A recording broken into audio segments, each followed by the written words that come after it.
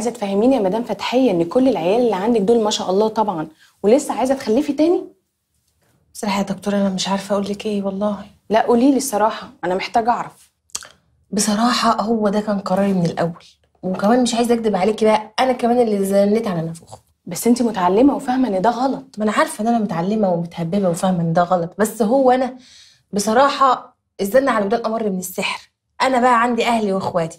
هاتتك بتتك في ودني يا بنت خلفي العيال يا بنت اربطيه بالعيال يا بنت العيال مش هيعرف يبص حوالين نفسه لحد ما الدب يستعمل إيه؟ طيب. يا سلام. وفين عيالك بقى دلوقتي؟ العيال بقى سايباهم مع الحاجة لحد ما ارجع والله انت صعبانة عليا. بس أقول لك انت اللي عملتي في نفسك كده. يا ستي خلاص ما أنا عارفة إن هي غلطتي وخلاص ما أنا جاية لك كده بقى هو عشان أبطل أخلف تاني. حلها لي بقى. طيب خلاص خلاص كده يعني مش هتخلفي تاني؟ لا خلاص خلاص. لا مش خلاص خلاص قوي كده. خلاص يعني هما مثلا إيه؟ يعني ست شهور سنة. آه سنة بالكتير كده. أريح بس كده وبعدين بقى يبقى يحلها حلال. يا جماعة هو إحنا بنرغي في إيه؟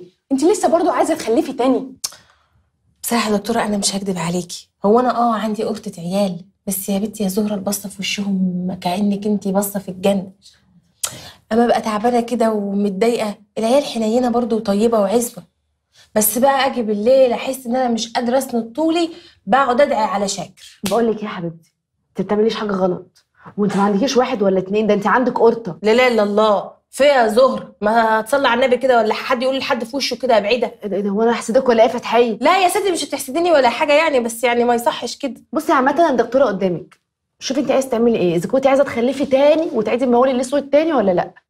بصي يا دكتوره أنا خلاص أنا أخدت قرار. انني أنا عايزة أريح سنة مم. وبعدين أخلف تاني. فعايزاكي بقى تديني حاجة توقف الإيه إن أنا أبقى حامل.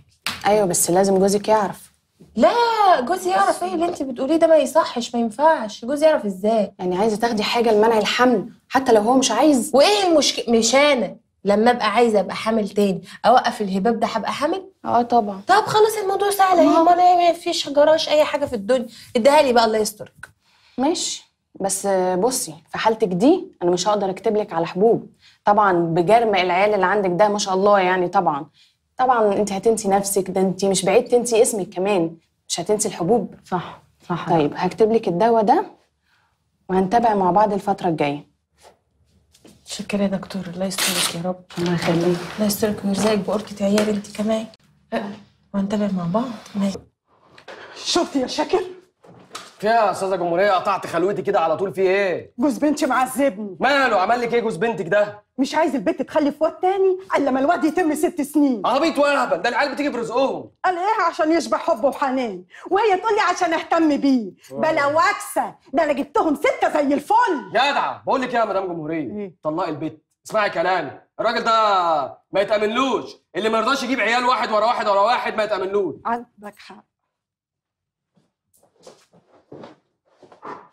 معلش يا شاكر في اللي اقوله لك دلوقتي. مالك لونك حزيني كده يا أستاذ كمال في إيه؟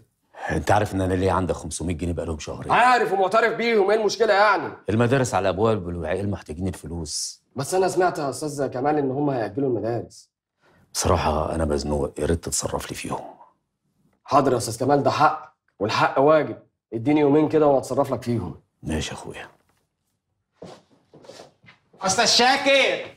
آه فوله بس كان عايز حسابه يا ده ويل عملك كده داخل هاجم عليا في إيه؟ فوله بس كان عايز حسابه وحساب فوله ده وصل كام دلوقتي؟ والله يا أستاذ شاكر طب من أول الشهر أنت عمال تاكل على الحساب يعني كده 600 ده غير طبعا بقى المية والمشاريب والقهوة من عندي والشباسي والبكاسي خلص خلص عاملين 400 ده غير بقى المشاوير اللي عمال أقضيها لك رايح جاي من ساعة ما عرفتك تقريبا. يعني كام؟ يعني كام يا ويل يعني في سكة 1200 جنيه. قفلهم واحد ونص وماشيين. 1200 جنيه بفول. يا نهار أبيض. 1200 جنيه فول؟ أنا أعمل إيه طيب؟ الحساب كده. ماشي ماشي يا ولع. اوعى تكون بتسرقني يا ولع. لا لا ما أقدرش. إزاي ده؟ الأمانة. ولع. الأمانة والله. قول له بس يا أستاذ شاكر بيقول لك يومين وهيدوم لك 1250 ماشي حصل. ماشي. ولع! أيوه. اوعى تكون بتسرق يا ولع. أمانة والله. ماشي يا ولع. عليكم. عليكم أخويا. أهلا أهلا شاكر بيه.